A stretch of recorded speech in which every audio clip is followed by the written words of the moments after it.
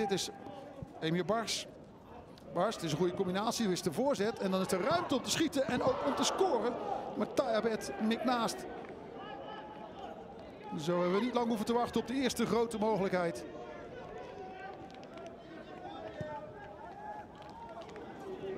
Er is nu uh, lekker veel ruimte bij Bars.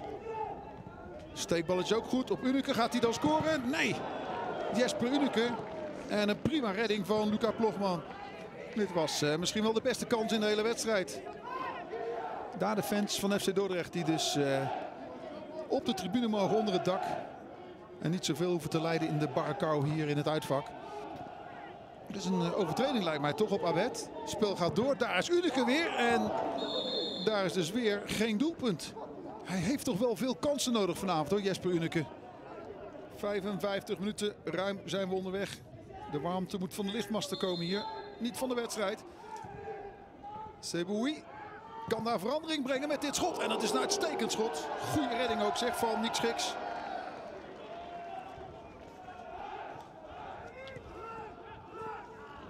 En daar de kans naar de fout achterin. En het schot wordt goed gepakt door Plochtman zeg. Het schot van Jan Jiménez. En dan is daar de overtreding op Thomas. Nee. Gaat de vlag wel omhoog. En dan het dus buitenspel. Dan hoeft er sowieso geen discussie te komen of dit wel of niet een strafschop is. Ja, Dordrecht sluit nu jong PSV op.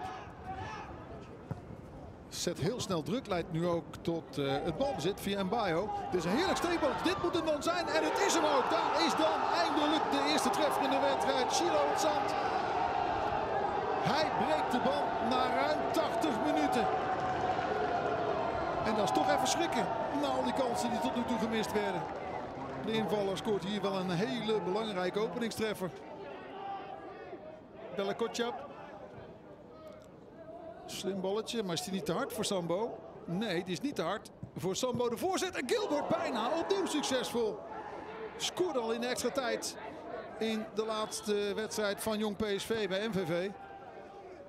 Hij hoeft maar één keer goed te vallen natuurlijk. En het zou zomaar kunnen in deze drukte. Gilbert krijgt die bal terug. Gilbert doet het net niet opnieuw. Tweede grote mogelijkheid voor uh, deze invaller.